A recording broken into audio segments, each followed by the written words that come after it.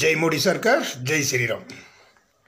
பாரத பிரதமர் நரேந்திர மோடி அவர்கள் ஒரு தெய்வ பிறவி என்பதை மக்கள் உணரத் தொடங்கிவிட்டார்கள்.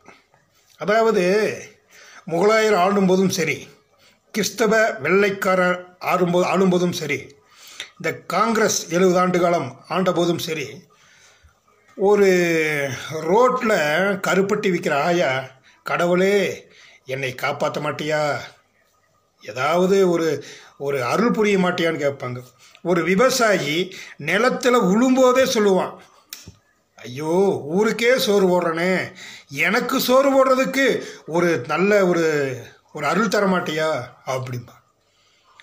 பல பெண்களை சீரழித்த சில நயவஞ்சக கூட்டங்கள் இருக்கின்றன. அவரெல்லாம் எத்தனையோ பெண்களை வச்சு விபச்சாரமே ஒரு குறிக்கோளாக செய்து கொண்டிருக்கும் அந்த அந்த பிள்ளைகளை பெற்ற தாய்மார்கள் கடவுளே இதை கட்டுப்படுத்த ஒரு எங்களுக்கு நாளியே இல்லையா?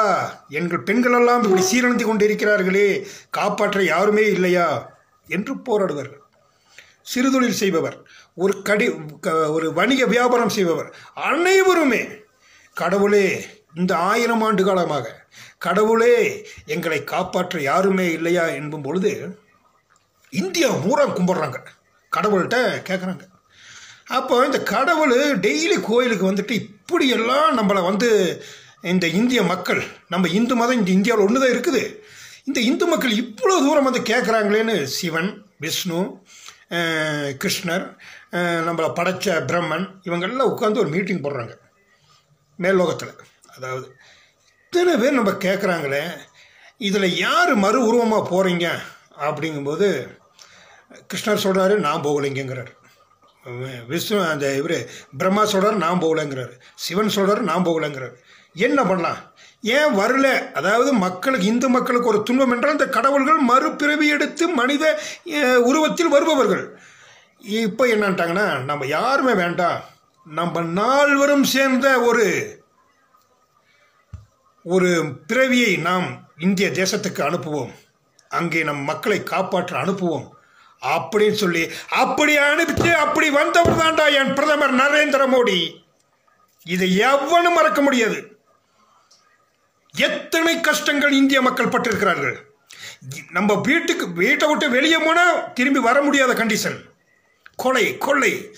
ஒரு பெண் தனியாக நடந்து போனாலும் அன் எப்போ நடந்து போகிறாளோ அவள் இரவு எப்படி பன்னிரெண்டு மணிக்கு நடந்து போய் திரும்பி வருகிறாளோ அன்றுதான் உண்மையான சுதந்திரம் என்பதை காந்தியடிகள் சொல்லியிருக்கிறார். ஆனால் அந்த சுதந்திரம் இப்போ நடந்துகிட்டு இருக்குது எந்த நேரத்தில் வெடிகுண்டு வெடிக்கணும் தெரியாது. எந்த நேரத்தில் நம்ம நம்ம நம்ம இடம் நம்மகிட்டே இருக்குன்னு தெரியாது. நம்ம சொத்து நம்மகிட்ட இருக்குன்னு தெரியாது. எந்த நேரத்தில்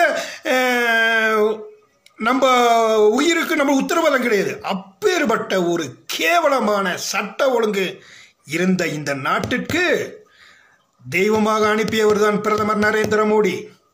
அதனால தான் எதிர்கட்சிக்கான புறான் துட்டிக்கிறானே இப்போ பிரதமர் தெய்வ பிறவியாக வரும்பொழுது எதிர்க்கட்சிகள்லாம் சாத்தான்கள்.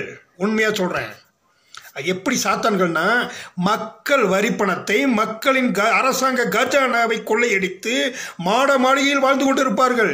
ஏழைகளை பற்றி கவலைப்பட மாட்டார்கள். ஆனால் இன்று தலைகீழாக மாறிவிட்டது. இன்று மாட மாளிகையில் இருப்பவனெல்லாம் பிரதமர் நரேந்திர மோடியை பார்த்து அஞ்சுகிறான். ஆனால் ஏழை விவசாயி நிம்மதியாக வாழ்கிறான். ஏழை குடிசையில் வாழ்ந்தாலும் நிம்மதியாக வாழ்ந்து கொண்டிருக்கிறார்கள். அதுதான் பிரதமர் நரேந்திர மோடியுடைய ஆட்சி. இன்று உலகமே பயந்து கொண்டிருக்கிறது பிரதமர் நரேந்திர மோடியை பார்த்து ஏன்? இவருடைய ஆட்சி இவர் இந்த தேசத்தின் மீது வைத்துள்ள பற்று. எல்லா பிரதமர் மாதிரியும் எல்லா முதலமைச்சர் மாதிரியும் எல்லா கட்சி தலைவர்கள் மாதிரியும் மச்சி வீடு பண்ணை வீடு கூத்தியாளுக்கு ஒரு வீடுன்னு எத்தனையோ பேர் என்னென்னமோ பண்ணி வச்சிருக்கிறாங்க. பிரதமர் நரேந்திர மோடி தன் சொந்த வீட்டில் மட்டுமே இன்னும் ஒரு வீடு கூட கட்டாமல் தன் சொந்த வீட்டுக்காகவே கட்டி வாழ்ந்து கொண்டிருக்கிறார். சொந்தமாக ஒரு கார் இல்லாமல் வாழ்ந்து கொண்டிருக்கிறார். சொந்தமாக ஒரு சென்ட் நிலம் கூட இல்லாமல் வாழ்ந்து கொண்டிருக்கிறார். அனைத்தும் அவர் உடல் உயிர் ஆவி அனைத்துமே இந்திய மக்களுக்காக அர்ப்பணித்த ஒரு தெய்வ பிறவி நரேந்திர மோடி அவர்கள். தெய்வத்தை பார்க்கும்போது சாத்தான்கள் கூக்குரலிட்டுத்தான் ஆக வேண்டும். இதற்கு முன்னால் பார்த்தீங்கன்னா ஒரு பக்கம் மாடி வீடு ஒரு பக்கம் குடிசை வீடு. ஒரு பக்கம் சந்தோஷமான வாழ்க்கை ஒரு பக்கம் தற்கொலை மூலமான ஒரு வாழ்க்கை தற்கொலைக்கு தூண்டுகின்ற வாழ்க்கை. இன்று அனைவருக்கும் சமமான சட்டம் அனைவருக்கும் தேவையான உணவுப் பொருட்கள் அனைத்து பதுக்கல்காரர்களையும் அடியோடு ஒழித்த பிரதமர் நரேந்திர மோடி அனைத்து மண்டிக்காரர்களையும் சம்மட்டியல் அடித்த பிரதமர் நரேந்திர மோடி அனைத்து ஊழல் செய்த ஊழல்வாதிகளையும் சிறைக்கு தள்ளிய பிரதமர் நரேந்திர மோடி. என்ன ஆட்சி? ஒரு காலத்திலே க- பாகிஸ்தான் எல்லையில் நின்று கொண்டு எதிரி வந்து கொண்டிருப்பான் தீவிரவாதி பாகிஸ்தானிலிருந்து. ஆனால் இங்கு ராணுவம் சுடுவதா வேண்டாமா என்று டெல்லியில் பெர்மிஷன் கேட்டுவிட்டு அனுமதி கேட்டு கெஞ்சி கொண்டிருப்பார்கள். அப்படி எத்தனை உயிர்களை இந்திய தேசம் இழந்திருக்கிறது தெரியுமா? இன்றைக்கு அப்படியே இருக்கிறது சட்டம். தீவிரவாதி அந்த பாகிஸ்தான் என்று புறப்படும் போதே தெரிந்து கொண்டு அங்கேயே அட்டாக் சர்ஜிக்கல் ஸ்ட்ரைக் அடிக்கக்கூடிய ஆட்சி நம்மளுடைய பிரதமர் மோடியுடைய ஆட்சி. இதை ஒவ்வொரு இந்தியனும் புரிய வேண்டும். குறிப்பாக தமிழ்நாட்டு தமிழர்கள் முதலில் புரிய வேண்டும். இன்றைக்கு இந்தியா என்ற ஒரு ஏழை நாடு ஒரு கேவலமான நாடு என்று உலக அரங்கில் இருந்திய இருந்ததை இன்று இந்தியாவை பார்த்து நாமெல்லாம் பாடம் கற்றுக்கொள்ள வேண்டும் என்று முதல் நிலைக்கு கொண்டு வந்த என் பிரதமர் நரேந்திர மோடியை கூக்குரல் இடுகிறீர்களா?